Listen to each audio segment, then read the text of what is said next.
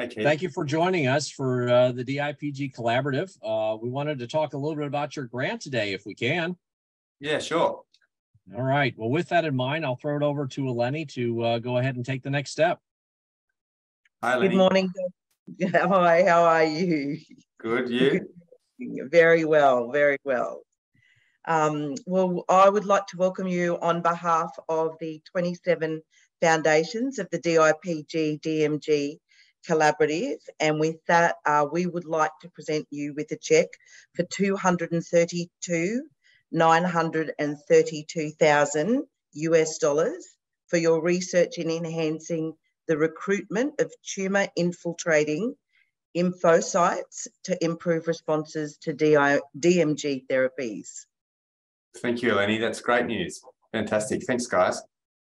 Thank you. With that, I will hand over to Kim Walk from the Robert Connor Dawes Foundation. Hi there, Matt. How are you going? Hi, Kim. Good. I'm a bit uh, jet but I'm okay. Thank you. Yeah, we heard that you were around and about. Look, a, a fantastic effort. Congratulations.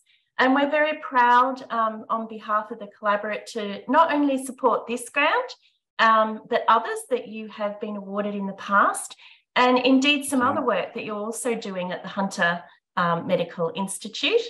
And on behalf of Robert Connor Dawes, we are just delighted um, that you continue in this area. We think your work is outstanding, and particularly this one in the immuno or immunology, immuno sort of therapy area. I think it's just fantastic. So please keep fighting the good fight, and we are watching your research very keenly and eagerly. So with Thanks, that, Kim. I'd like, you're welcome. With that, I'd And like Liz. to Yes, I, I will let Liz know. She's she's aware of it. She's really happy that we were able to be part of this team to congratulate you. So with that, I'd like to pass over now to Dr. Hamza Anwar um, of the Cure Brain Cancer Foundation. Thank you for that, Kim. Uh, hi, Dr. Dun. Firstly, I just want to say on behalf of Cure Brain Cancer Foundation, congratulations.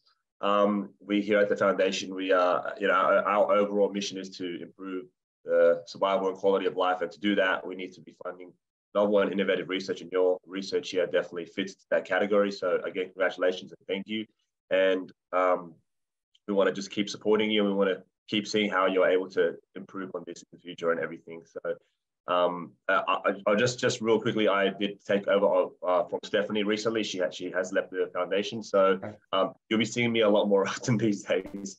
Um, but yeah, we're looking very forward to uh, how your research progresses over the next uh, next few periods. And so with that in mind, I'd like to pass it over to Jesse of the Cure Starts Now.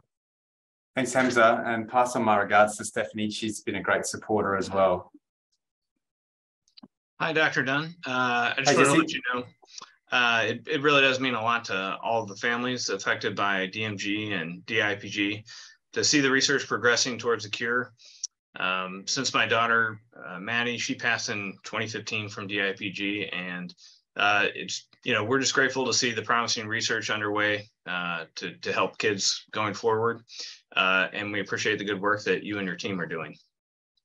Thanks, Jesse. Um, obviously, tragic circumstances that we meet, uh, shared tragedies, um, but I appreciate the support and the willingness to continue to fight a good fight uh, and to support teams like mine and, and other ex, ex, excellent teams from around the world doing novel things um, to try and beat this monster.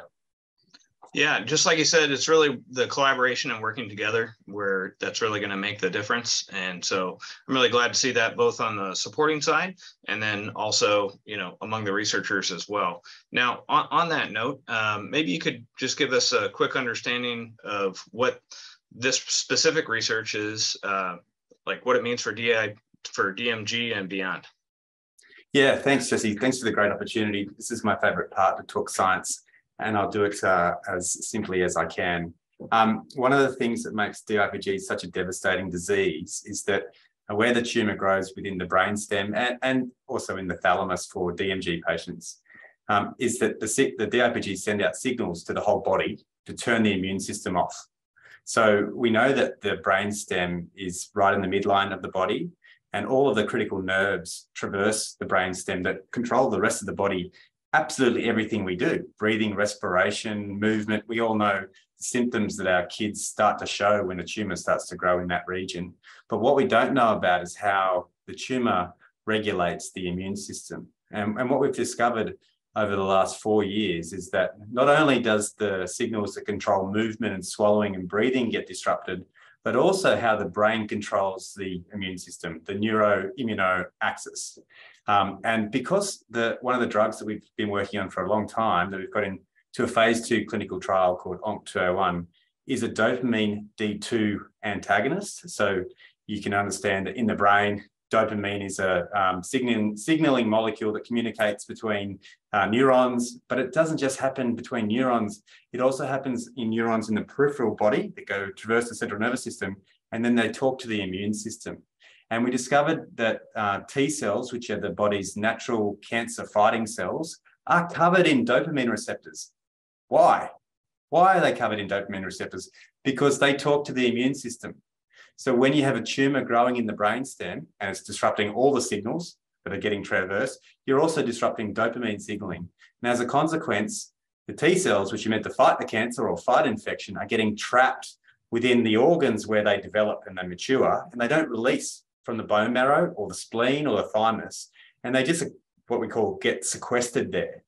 And so one of the things that we've been able to show in animal models and in the lab is that when we use ONC201 in the animals, we started to see some T cells getting out of the immune uh, organs, starting to circulate. And we even found them in the brainstem of tumors that we put into mice in um, animal models that had an immune system, functional immune system. So we thought, wow, this is super incredible. If we can train those T cells to recognize the tumor now, it's all well and good that they're getting there, but unless they can recognize the tumor and start to kill them, then um, then it's pointless. It doesn't really mean anything. And so over the last I suppose, well, when Josie was diagnosed in 2018, a trial had just started to test an immuno-oncology drug um, called nivolumab, uh, which uh, which binds to the T cells and helps the T cells to kill the tumor. And it didn't work. It, it actually patients did worse. They got more brain inflammation, um, which is a consequence of immunotherapies. But what we didn't have at the time is that we hadn't trained the immune system to recognize the tumor and we hadn't caused the, the T cells to be released from the, um, from the organs where they develop in the peripheral. So in this, in this grant, we are um, characterizing the mechanisms that keep the T cells in the bone marrow so that we can then um, make them come out more. And it might not necessarily just be ONC201 that can do it because there are other drugs that are FDA approved already that disrupt dopamine signaling. And that's used for diseases like epilepsy, um, uh, if some psycho um, neuronal disorders as well. So there's FDA approved drugs. So in this grant, we've got this cool animal model that we've um, been given by a great colleague in Michigan, Carl Koschmann, um, who developed DIPG-like cells that can go into animals that have a functioning immune system. We'll test these drugs that modulate dopamine receptor, uh, receptor antagonism in the peripheral and we'll measure the T cells and at the same time, the T cells that get into the brainstem, into the tumors, we're going to sequence them and identify what the crosstalk is between the T cells and, and there's also myeloid cells, which are another type of blood cells there, and the DIPGs and find out what, what, what communications are going back and forth to stop them from now eating the tumor. In some patients on compassionate access that we've got given that we've given on 201 and, and paxalisib, which is our clinical trial called PNOC 022, we've had absolutely remarkable tumor regression. In those patients, some observations. One, um, the treatment started within a window of about eight weeks following the completion of radiotherapy. Although the tumor had started to grow back again after that time, the combinations of drugs led to a dramatic tumor re regression. Now, these are remarkable results, and this patient continues to do really well 20 months after diagnosis. She's been on Paxon Onc for 64 weeks. This is these numbers are amazing for DIPG. The other observation is she was off dexamethasone. And dexamethasone is this terrible um, corticosteroid drug that blows up the immune system, basically stops the immune system from, from functioning. And we think for the kids that have a dramatic response to the drug, one, they're not on dex, um, and the kids that don't do so well are almost always on dex. And, and there could be some correlatives, you know, worse disease. There's, there's some artifacts there um, that we had, have to investigate. But we really think that if we can keep kids off dex, we can give these um, therapies that increase the immune cells from from uh, being sequestered within the bone marrow and, and start to circulate and find their way to the, the DIPG. And if we can then enhance that um, interaction between the T cells that make it to the tumor uh, and the tumor, then we're going to get a dramatic tumor response, a sustained, prolonged uh, result that you know the, the thing that we're all craving desperately after. So thank you guys. This is going to go a, a, long way to help us do the really expensive single cell sequencing that we have to do of the cells that make it to the bone marrow. Um, get us to do some animal models to use other dopamine receptor antagonists to prove that it's a dopamine receptor mediated mechanism. And then once we have those two pieces of the puzzle, we'll then employ uh, the novel immune therapy in the animal models. And then you know, that gives us great impetus to include that as a natural next arm of our already established international adaptive clinical trial, right? It's open at 32 hospitals around the world. So it means that the path from identification of potential therapies to translation is in a feasible window.